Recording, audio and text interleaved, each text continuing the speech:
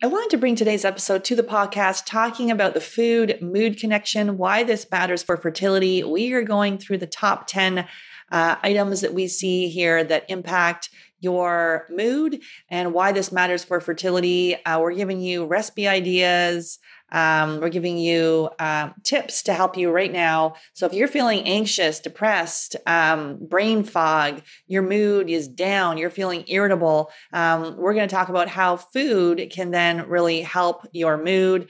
And then that also will improve your fertility. Excited for you to listen. Let's go.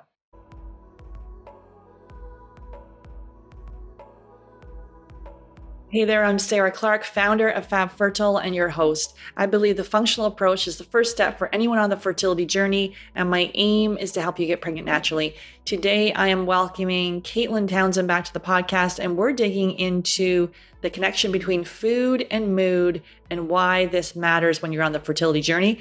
Caitlin Townsend is part of my team here at Fab Fertile. She's an integral part of our couples coaching program that uses functional lab testing, diet, and lifestyle changes to dramatically improve conception. If you're struggling with infertility, your body is desperately trying to tell you something, and focusing on your health will either help you get pregnant naturally or if you do need to go to the fertility, uh, fertility clinic, it will improve your chances of success with your own eggs. Caitlin is a functional nutrition therapy practitioner as well as a chef trained at the Culinary Institute of America.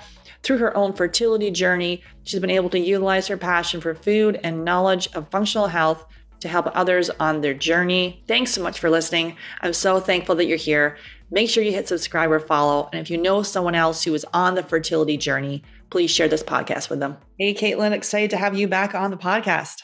Yeah, happy to be here. Hey, so today we're talking about Caitlin's favorite topic and mine too food, um, and really how this impacts our mood. I had no idea for many years what that I what I was eating was making me irritable, and a lot of the a lot of the the root issues with my um, hormonal imbalance, with my premature ovarian insufficiency at 28 were uh, food related and i actually would have said i was eating a healthy diet. Many people that you know come work with us are like we're eating a clean diet. We already think we're eating healthy.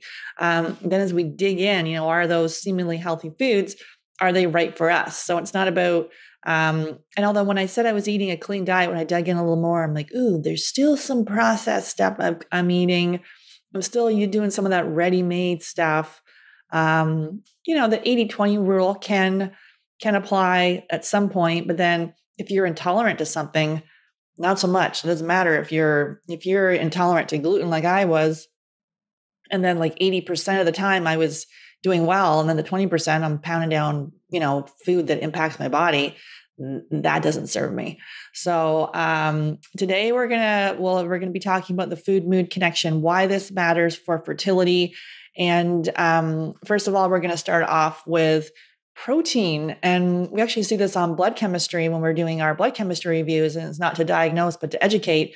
And we see many people that have low protein intake, and sometimes we get married to a specific diet, be it a plant based vegan diet, be it a diet we've read from the internet, from a book, from a website, wherever.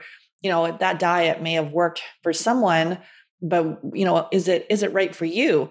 And so the protein consumption, um, let's talk about that and how that can um, really impact your your your mood and fertility. Yeah, absolutely. So you know, it doesn't really seem to be a problem for men for you know for your partner to be getting in enough protein, but for women, you know, when we're trying to conceive and when we're trying to have a baby and create a whole nother life, we need to have this uh, protein and we need to actually be making sure that we're getting in enough good quality protein for all of our meals, you know, because this is the building blocks of life, you know, of all of our cells and just so incredibly important and think about it. You know, most times we are in such a rush for breakfast that we might just have a cup of coffee and a piece of toast, you know, or a little bagel or a muffin or whatever. And, you know, so not getting in that protein in the morning uh, is just, it's not going to set ourselves up for uh, the good, a good rest of the day at all.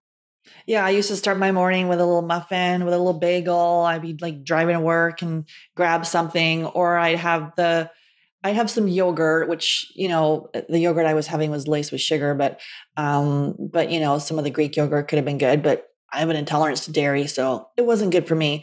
Um, but with the um, the protein, so um, let's talk about kind of the the, the dopamine, um, like the neurotransmitters, and how that impacts. That protein is important for for uh, dopamine. Absolutely. So talking about, you know, having those balanced meals for breakfast, lunch, and dinner. So having that little bit of protein in the morning can really increase your feel good uh, neurotransmitter, right? That is that dopamine. So you want that little dopamine hit in the morning. Um, and it's just so critical to just get you started on the right track. And definitely uh, go check out uh, Fertility Diet Freebie. So Fertility Diet Freebie, um, we've we've run uh, um, live fertility challenges, and Caitlin's helped us design um, the the meal plans for this. So there's a there's a grocery shopping list and a meal plan, um, and all the breakfasts are like really good. Like they're so good. It gets us like out of this freaking rut. And many of them are as easy as um, whacking together some meat and making little like little sausage or meat patties. You have them in the fridge, heat them up, um, add some arugula or maybe some kimchi or something like that. Caitlin makes it. I don't know. She makes it really. Um, it's easy, but you feel very fancy when you're when you're eating it.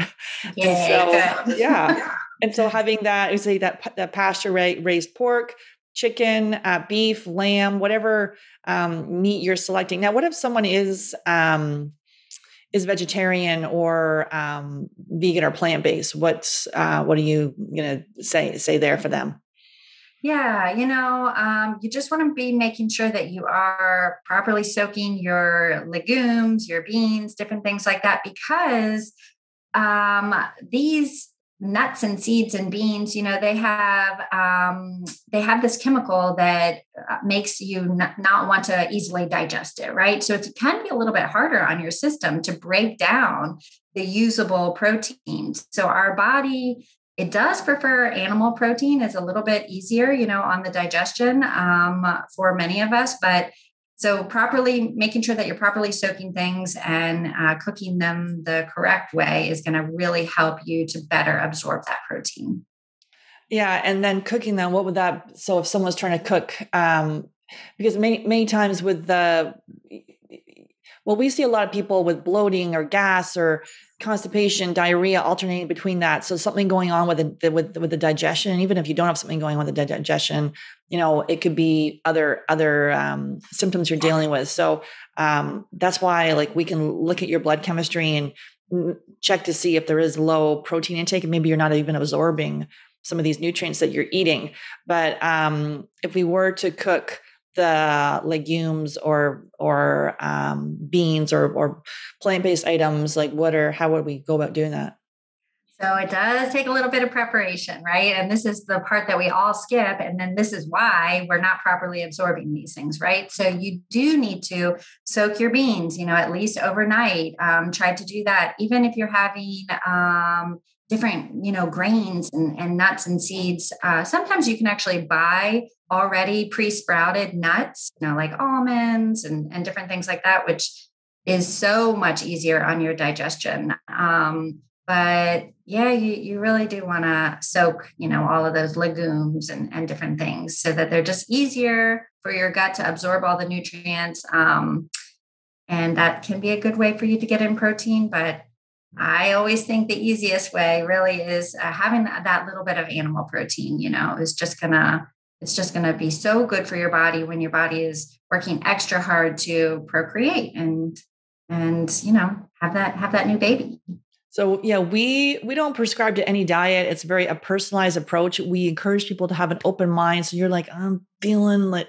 you know i'm feeling very married to my certain diet. Obviously if there's religious issues then that's something that you know you, you can you'll have to work around. But um otherwise if you've selected this diet and many people do it for for the environment, for that it doesn't feel right for them to eat something with a face. My mom has been like vegan for like 35 years.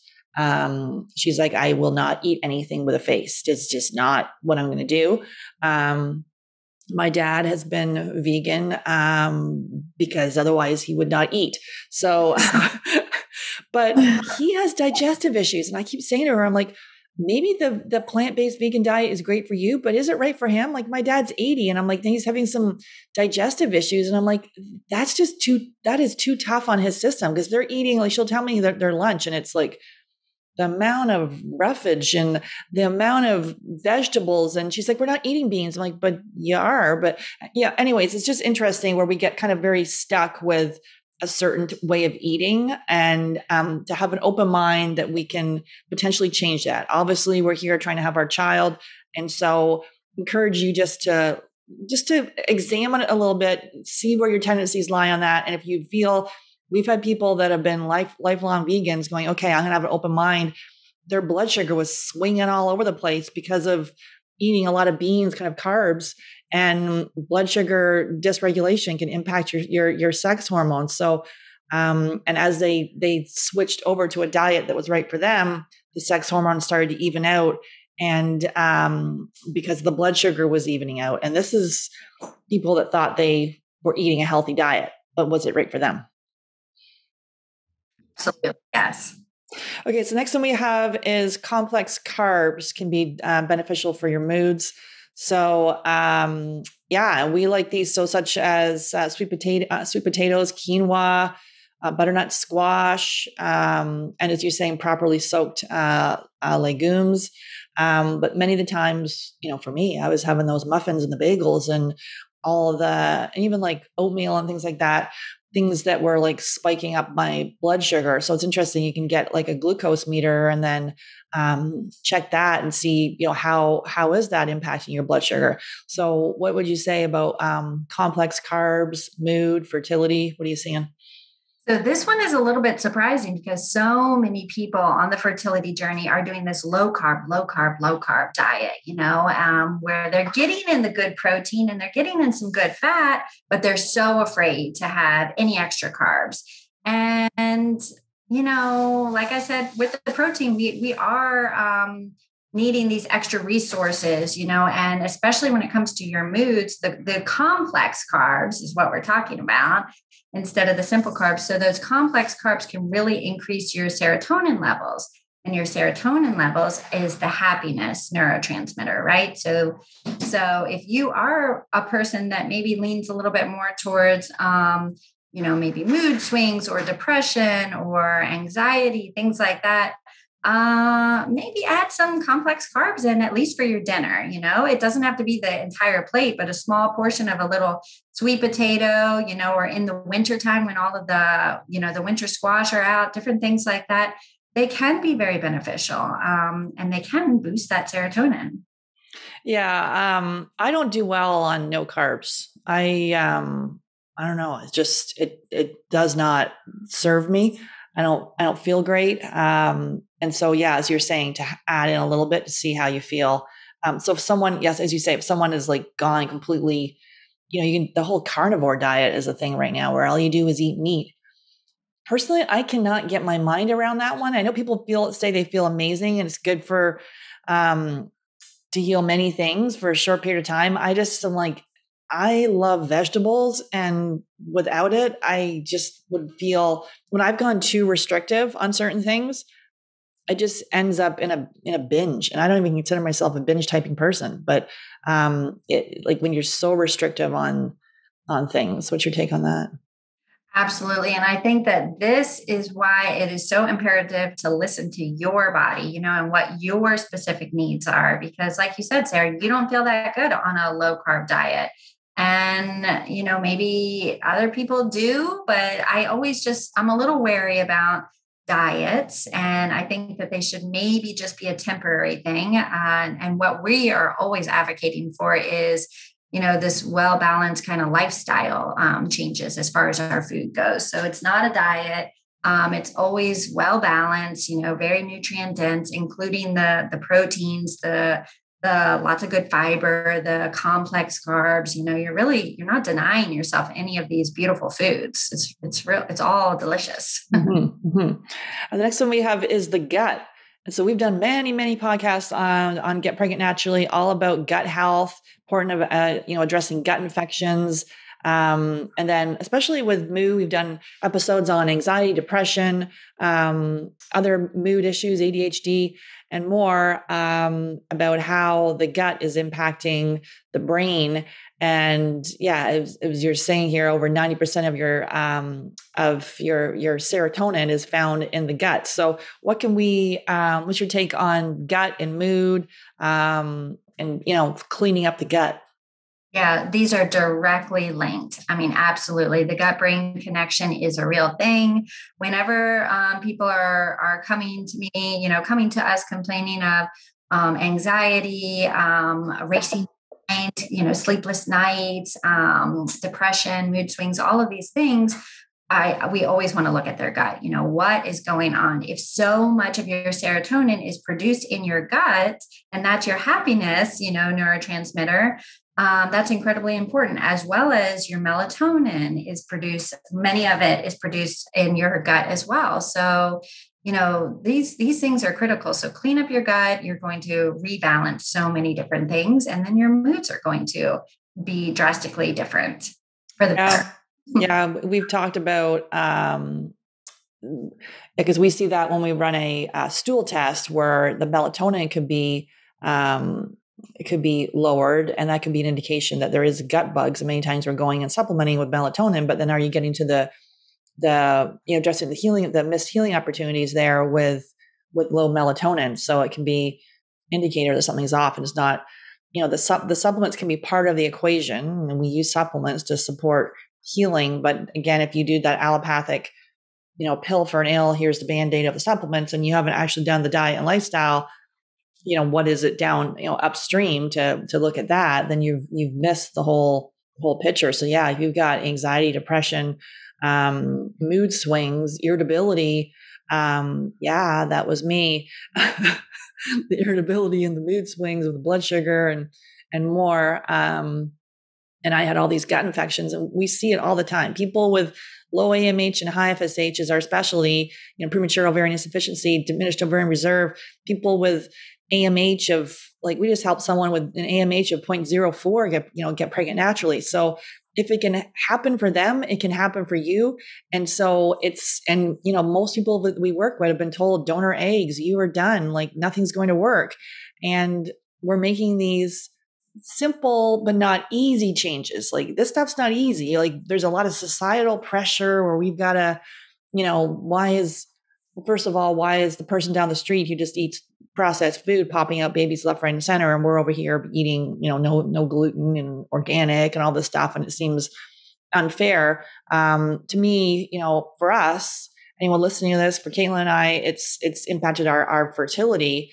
Um, other people, it could be cancer, diabetes, heart disease, any number of other different um, health issues, and it's like that tipping point where you could be fine. You're like, I'm fine, I'm fine. And then the body's like, not fine anymore, tipping point. And then and it and because things have been brewing in there these infections this you know those biochemical imbalances and the body can only take it for so long. Um, and then we talk a little bit about the uh, vagus nerve and i've done some podcast episodes on that actually one around um, essential oils so putting like on the vagus nerve like on the behind the ear you put um, a pressure point on there i can't remember the name of it now um, and then um, that can help stimulate the vagus nerve, even like humming or singing or gargling, which is then that helps you get into that parasympathetic state. So, um, anything you want to say there? Yeah, that is just, you know, huge, hugely important. Um, and so, like you mentioned, all of those little traits, you know, that probably we used to do back in the day before there was TV and like all this entertainment. We probably used to sing and hum a little tune while we were folding the clothes or pulling the weeds or whatever it was. And it is just kind of calming. And you know, the um, it's like the what is it, the universal um om. Yes.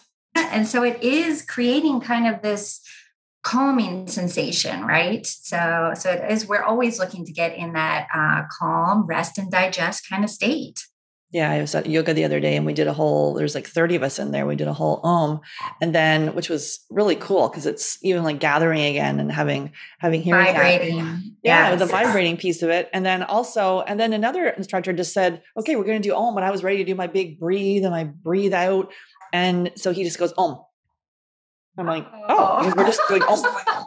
I'm like, oh wow, I've never heard that one before. That was different. Yeah, and it was. This was a very spiritual studio, and he's like, oh, I'm like, oh, okay, I'm doing thing. But yeah, I like love singing. I love, um, like you know, when I'm in the car, like singing. Every, you know, my husband, kids are like, please stop the singing. and I'm like, well, that's so nice. I'm yeah, like, that's so I'm nice. Like, I'm like, I'm a great singer. They're like, no, you're not. I'm like, yes, I am. And literally, because when the kids were younger, I used to say to them, um, I know every song there is. I know the words because oh I love singing to the whatever songs, and they're they're like, oh, for the longest time, I really thought you knew all the songs because I'd be like singing to them. Mom's a weirdo. Love it. Um, so, um, yeah, so looking into your gut and really addressing that gut brain connection is key. Um, and so, anything on the food piece on that one you wanted to say with the gut? Um, obviously, like what's like some some probiotic, some prebiotic foods, some probiotic foods. The prebiotic foods, um, yeah, like kimchi or sauerkraut. Anything you want to share there? So, yeah, so prebiotics are probably foods that you cook with quite often that you don't even know about. So, things like onions and garlic. Now, there are some outliers like artichokes you might not cook with all the time, and leeks, you know, those types of things. But those are really good prebiotics. Also, chicory as like a little tea, you know, that's a really good kind of bitter digestive tea. And that's an excellent prebiotic.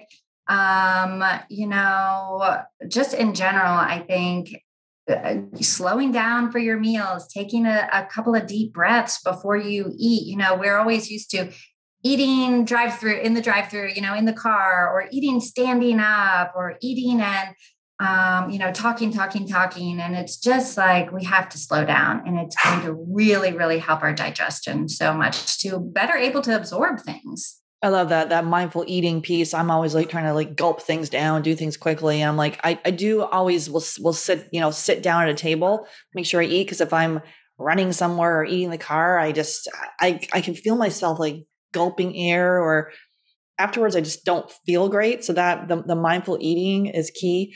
Can you just back up a little bit on the art the, the artichoke? So I literally I see those artichokes and I'm I'm scared of them and I I haven't I don't think I've actually cooked with an artichoke like because I think people they slice them and then they drizzle with olive oil and they can they can um like grill them but like what what do you do with them anyways? I obviously you see the pickled ones but those ones aren't aren't really good for you.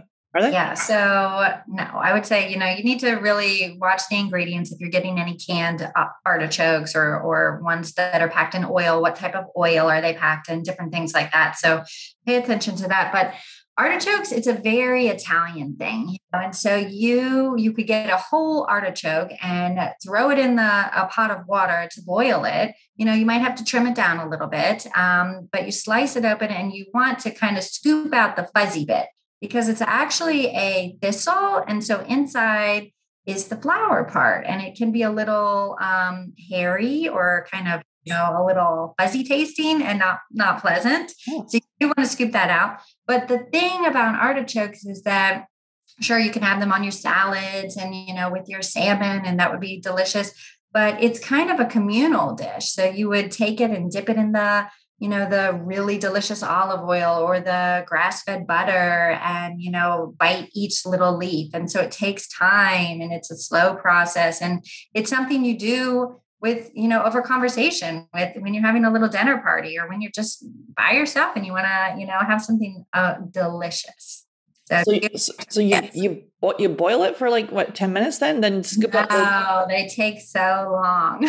Oh it depends on, hours. Um, yeah, it depends on how how big it is. You know, some of the little baby ones are coming out. Maybe it'll take um, half an hour or something. Um, but the large ones, you can cut them in half, but they're still going to take about an hour to, okay. to or to steam. You can steam them. Yeah, yeah. Okay, neat. And then cut um scoop out that. So yeah, and I I, I like those the those prebiotic and probiotic foods. So definitely um, so again, so the art- artichokes, the chicory, the leeks, the onions, the garlic. Um, um, anything else? Uh, yeah, there's so many different ones out there, but they're a little bit more unusual, like hearts of palm, um, different yeah. things like that. But you can't ever go wrong with the onions and the garlic. So you know, you can always you can always find that. Okay, awesome. Okay, eating breakfast. So for your mood, um, yeah, this is where you know many times people and there's a whole thing with the fasting piece, and you don't want to make sure you if you fasted too long and then you get that blood sugar thing, which then is going to defeat the purpose for like for fertility. Um, we've done a couple episodes on intermittent fasting and how that can um, um, impact your fertility negatively. So you want to make sure, again, this is very personalized. Um, but eating breakfast. And so I've always needed to eat breakfast. I could never understand anyone that would skip breakfast. That sounds insane to me. Um, but probably because my blood sugar was off and because I ate junk before. But um, now I can go a little longer without getting into, the, the, the the jittery piece. But um, this is key for stabilizing your blood sugar. So anything you wanted to share, share there? Absolutely. So think about it. If you, and this is critical, like you mentioned, Sarah, for, you know, women trying to conceive. So if you are a man, you know, maybe intermittent fasting is a little bit easier on your system. If you are a menopausal woman, you know, maybe it's a little bit easier and doable. But for right now, you know, in this time period of your life, you need to have some substance in the morning. And it's going to set you up for the day as far as your blood sugar, like you mentioned, and also your cortisol levels. So, this is your stress hormone. So, you do not want your stress hormone spiking all day long and first thing in the morning. You know, it's going to affect so many other things. So, let's help to really balance that cortisol out by eating some good protein, little fat, and some fiber. Yeah, so give us some ideas here there. So we talked about some of the protein, so we can do the, the little sausage patties or the breakfast um, yeah, the, be it lamb, pork, beef, whatever works for you. Um, what else are some good um, options? Definitely check out that. Um, check out the fertility diet freebie. We have a whole menu for you.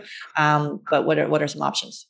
It's a seasonal thing too, isn't it? You know, because now we're getting um, into some warmer weather. So some occasional smoothies here and there. But I do like to kind of have food that you chew because that gets the digestive juices flowing. And so if it's a little bit thicker kind of uh, smoothie, that's always good, you know, to have. Um, so, so that's very seasonal. I'm not a smoothie fan in the wintertime. Um, I think that's a little cold on the whole yeah. system. And we're wanting to always warm, you know, warm the body, warm the uterus and everything. So, um, but like you mentioned, those little sausage patties, um, sometimes the quickest thing for me really is just to have leftovers. And I know it's a weird concept, but it's quick. You know, it has protein, fat, and fiber in it. You had it last night. It tasted good. It's going to be good this morning. And it will take you literally five minutes just to heat it up and eat it. You know, yeah, those breakfast hash where you could take some of the meat and the veggies from last year and it from last last night. And sometimes we get stuck that it's got to be pancakes and eggs and you know the typical standard American diet fare. Um, but I I still you know you can do obviously if you you know, eggs are top allergen, so you want to make sure you're not intolerant to them.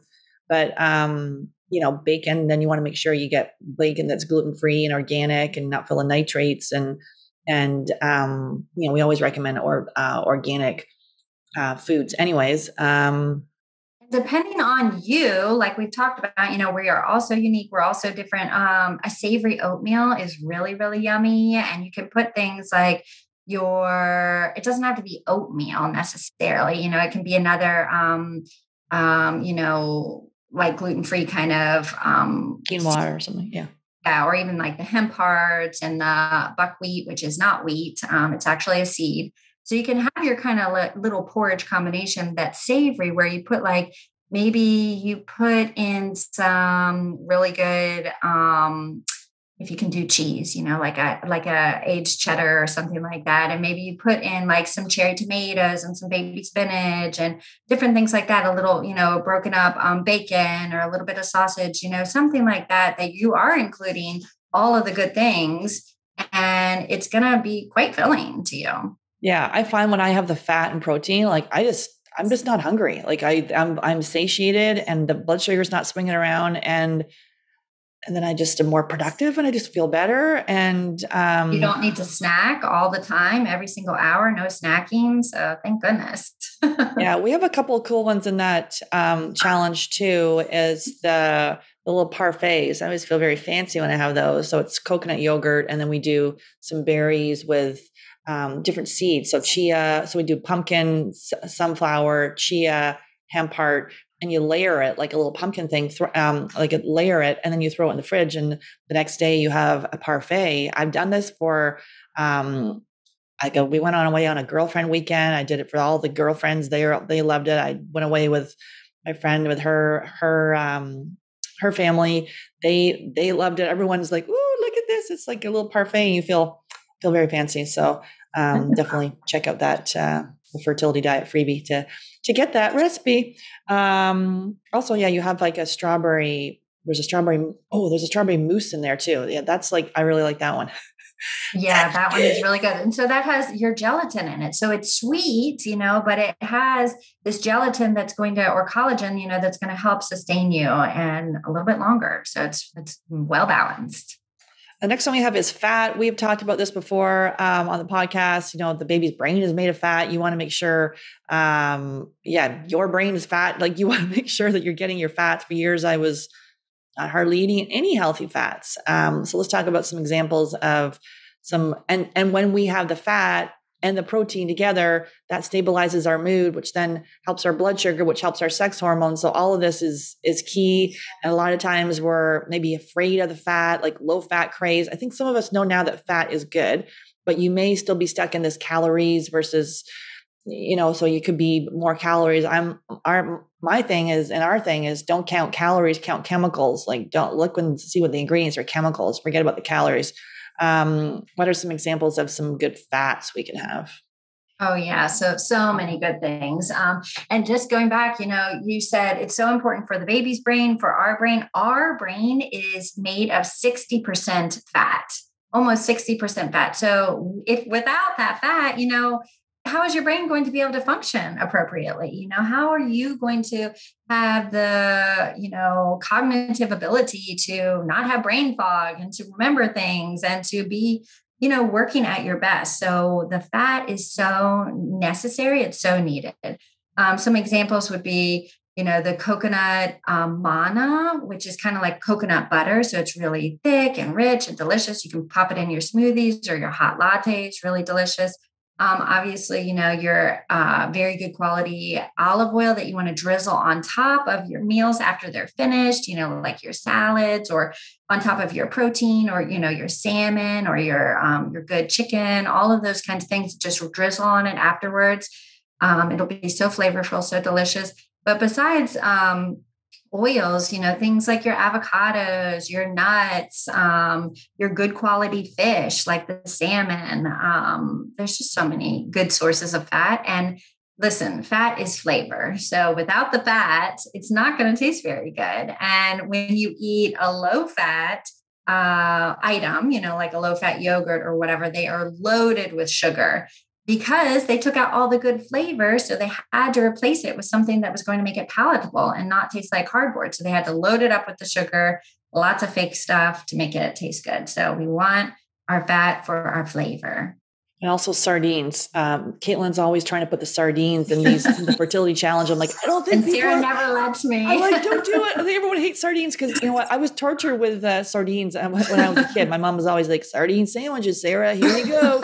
Um, so, but I love sardines. But no, they're not in the challenges. But yeah, get a can of sardines, like the you know, making sure that they're organic and wild caught and, and the rest. Um, that can be really good too for your your um, omega threes, and then helping to all of these help this help with your mood, depression, and Absolutely. more. Absolutely, so needed, critical. And then some foods that are, are rich in vitamin D. Um, I think we know, uh, you know, the past two years that it's important to um, boost our immune system. And uh, many of us, typically the clients we're working with, you know, low AMH and high FSH, we're seeing people with vitamin D down in the single digits, down in the teens. Um, conventional uh, medicine uh, function, um, reference ranges are saying that, you know, anything over 30 is fine. Functional reference ranges, it should be anywhere from 60 to 80 or, or more. Um, done a whole deep dive um, into vitamin D on the podcast episode too, so check that out. But um, yeah, let's talk about some foods that are rich in vitamin D. There's those those sardines are coming up again. Woohoo!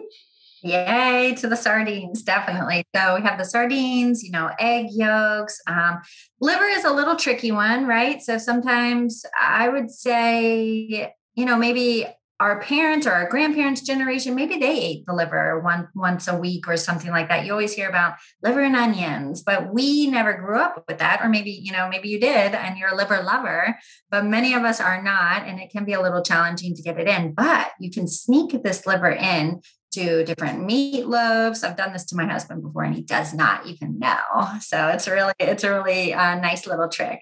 So meatloaf, you can pretty much sneak anything into. Um, but add your liver in. Try to get it in, you know, once a week if you can. You can also. There's obviously liver supplements and different things like that. But egg yolks, liver, the really good kind of oily fish, like Sarah said, the sardines, the salmon, sometimes mackerel, and even mushrooms can be a source of vitamin D. Yeah, the um the liver piece is yeah, putting it because I literally said to my husband, I'm like, okay, we're gonna start cooking with liver. This is great because he grew up on liver. He loves liver and onions. Him and his mom would just like chow it down. I'm like, okay, I got this real organic liver. It's amazing. Let's cook it up. And I'm just like, no, no. And I so, every- so I have the key. I've got the key. I found the recipe. I found the the trick. Um, so you chicken livers, first of all, you got to start with the chicken livers. Okay. Beef way too strong. Pork really strong too. So chicken livers are pretty mild, and you're still getting in amazing, you know, vitamin D, vitamin A, all the good things that you need. Um, so you take the chicken livers, you you um, fry them in your cast iron pan. Yes. You have to have lots of garlic and lots of lemon, the lemon juice. Lemon. Okay. cut the flavor. It's going to make it really delicious. You can add a little bit of bacon in there if you want as well. And even my husband liked it. So okay, okay, yeah, because I was like this the, the, the beef liver. I'm like I am dying. I'm like chicken liver. Strong. Okay, yeah, so we'll try that. Yeah, and also if you have a you know your butcher, you can have them add it to your your your, your ground beef, so it's in there.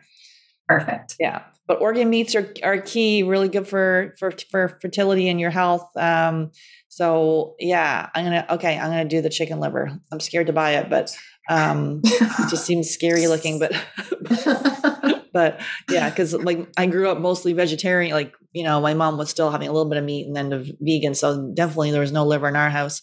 Um, okay, and the vitamin D. Um, yeah, like so low levels. We see it uh, either connected with um, gut infections. It's potentially we see people with, with autoimmune issues with low, with low vitamin D. So supplementing obviously is important. Vitamin D is a hormone. You want to make sure you're getting your your your levels tested. Um, but those are some good foods, and so that's an indicator something could be off. And it's not just here's the vitamin D and off we go. Let's dig deeper and see you know see why. And there's a reason why, you know, they call it the seasonal affective disorder. You know, in the wintertime, we are not outside as much. We're kind of cooped up in, in our dark little homes and, you know, don't go out for any brisk walks because it's too cold. It's definitely too cold in Canada. So I don't know what you do in the winter. I still go out. I force myself out. so good. That is so good. Um, but in the South, we're, we're a bit chicken. So I can't imagine. But anyway, it's just so, so critical. So you have this seasonal affective disorder where people are down in the dumps and they're just feeling, you know, just depressed. And there is a reason because we are not getting in our good quality sunshine, you know, the sunshine um, hormone, the sunshine vitamin. So you need that vitamin D. So maybe eat some extra liver in the wintertime. there you go. Yeah. I forced myself to get out 365 and I come out west right now and and the cold weather. I talked to my husband the other day. He's like, it's 90. I'm like, no, what, what are you telling me? I'm at 50. It's still cold wow. out here. I'm on the on Vancouver Island.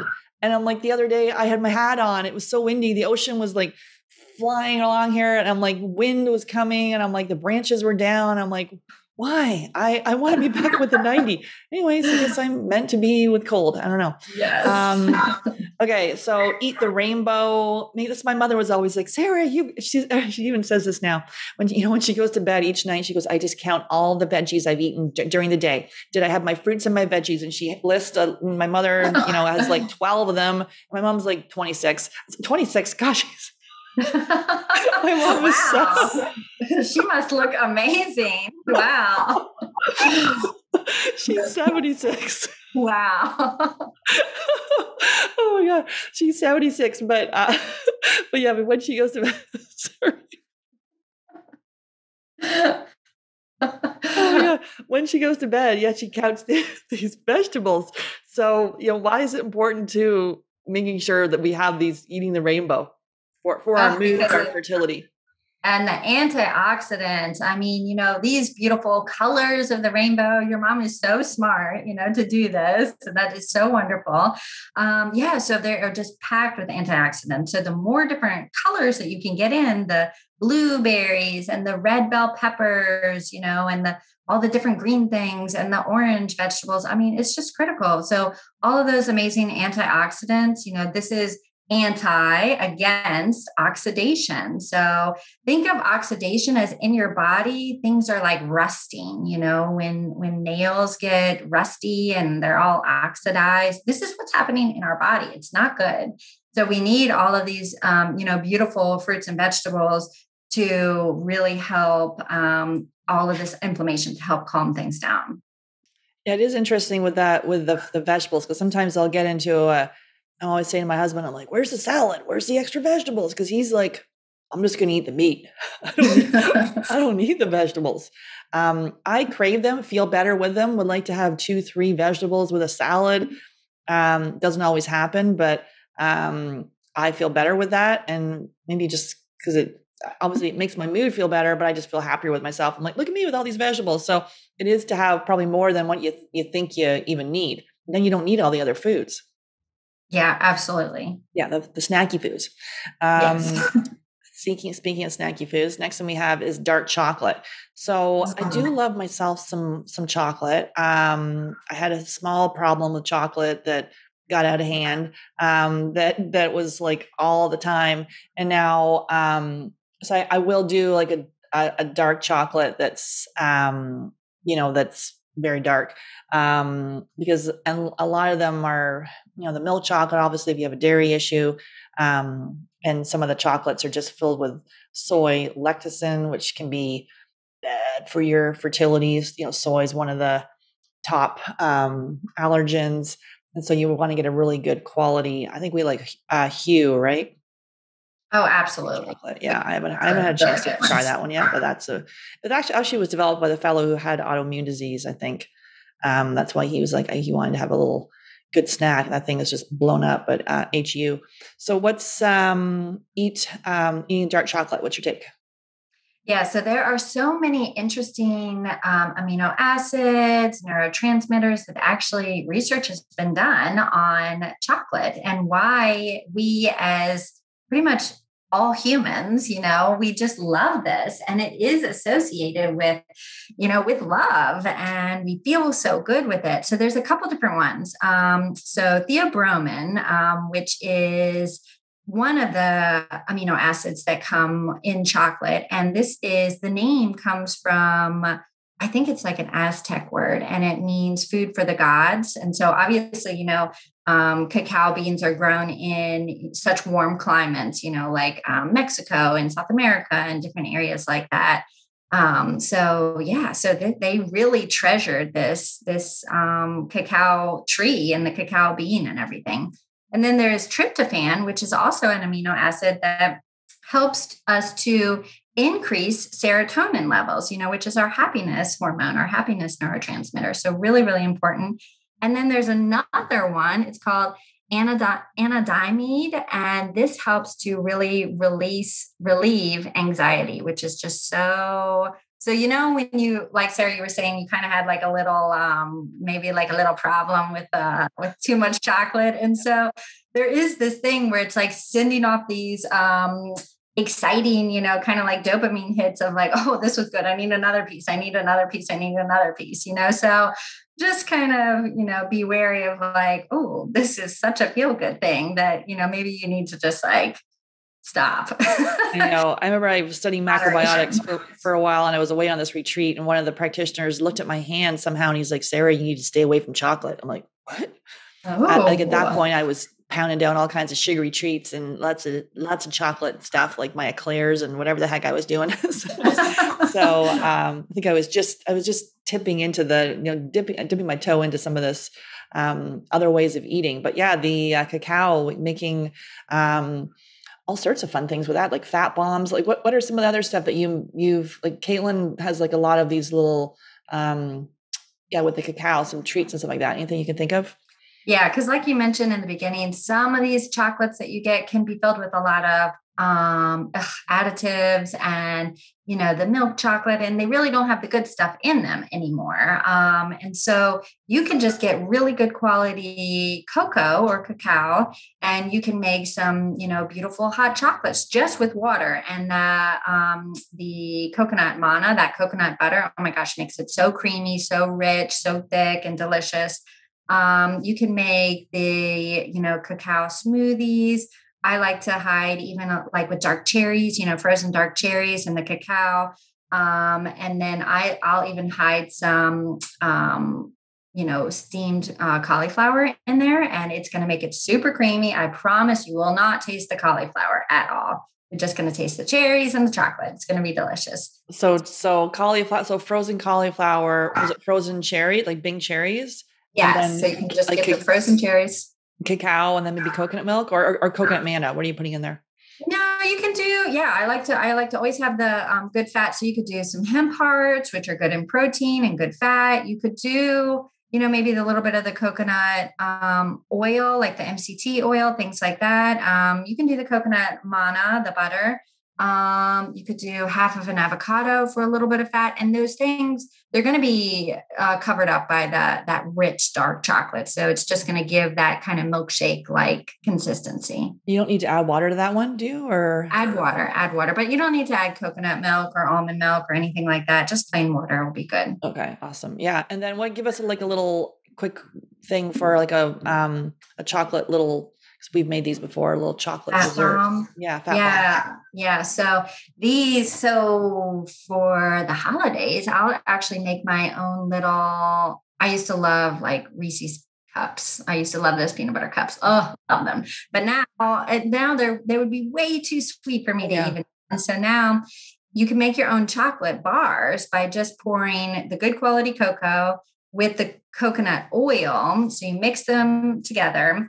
And then if you pour them into like a little mold, maybe a little muffin tin lined with, you know, um, some wax paper or something like parchment paper, um, it'll make a chocolate bar if you put it in the freezer, right? You can't eat it when it's 90 degrees out, but you know, eat it in the AC and you'll be fine. And then you can mix it with the, you know, your cashew butter or your, you know, your almond butter or whatnot, and put a little sea salt on top. And it's oh, my mouth is watering right now just talking about it. so good. Yeah, because you do it in the double boiler, right? So you get the double boiler. Um, just get well, I just get a, a one of my like stainless steel bowls and then boil some water and then put in um, a little bit of the coconut oil and then your chocolate, melt it, and then you're putting and where are you, when are you putting when are you putting the cashews in there you mix it with the cashews before you pop yes. it in the freezer or if you want it to be kind of like a chocolate peanut butter entire thing then yeah you can mix the, all of it together and it'll be chocolate and peanut butter bar kind of thing and it'll be so good or if you want to do more work then you can like layer it you know so it's more of that chocolate peanut butter kind of cup um, so you would have your your coke, your chocolate kind of bar mixture, and then you would put in your almond butter or your nut butter, and then you put another layer of chocolate on top, and it's so good. Would you freeze it each time? So you put the chocolate, and then you'd freeze, and then put the um the little the peanut or the the cashew, and then freeze, and you'd have like a little layered thing. Which it sounds complicated. This stuff is like so easy. Like, and Caitlin makes hers look beautiful. Mine look like blobs, but they still taste good. Um, and yeah, you've got some little little molds and stuff like that, which which you or like a little muffin tin or something. Yeah, yeah, definitely. It, it does sound a little complicated, but it's so easy. You can, there's a bazillion recipes out there. And I, and I'm sure Sarah has some good recipes as well. So yeah. Definitely. Um, okay, so the last one is staying away from poor quality food. Uh, yeah, don't eat the processed food, the uh, ready-made freezer stuff.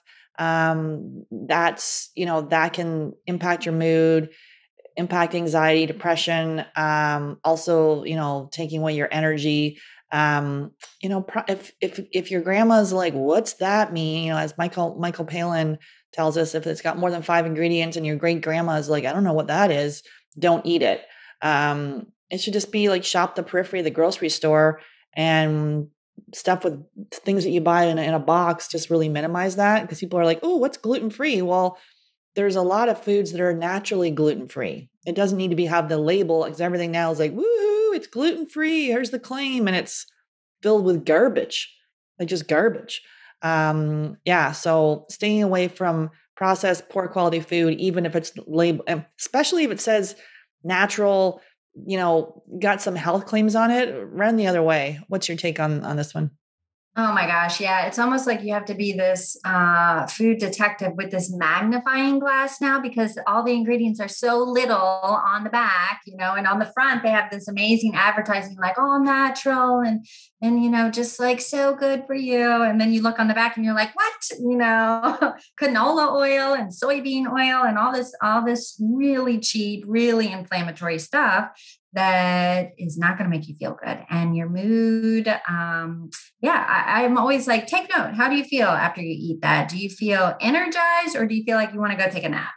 You know do you feel full and satisfied or are you like you know hungry an hour later and snapping at your husband? So your body is always giving you clues and will always tell you. Absolutely. So what are your what are some final thoughts you have on our topic today um, I think, you know, this journey can be a struggle, but we can really take the the food part and bring a little bit more joy into it again, you know, just by doing things that your mama said, Sarah, eating all those good, you know, rainbows, eating your rainbow every day, you know, just bringing a little bit more joy into it. Have your little dark piece of chocolate, you know, and enjoy that. And put some fat on all of your food and enjoy the flavor and the taste and the richness that it lends. Um, you know, this is definitely can be a pleasurable side to everything. Yeah, it's not about deprivation. It's like people are like, "What do you eat?" And I'm like, "What do you eat?" I feel bad for you. um, you know, it's like eating awesome foods, and it's not about you know sitting in the corner just eating cardboard. That's definitely not what's happening. So it's these are some really awesome ideas. Caitlin makes it like super fun. Definitely check out the fertility diet freebie. There's a full guide there, grocery shopping list.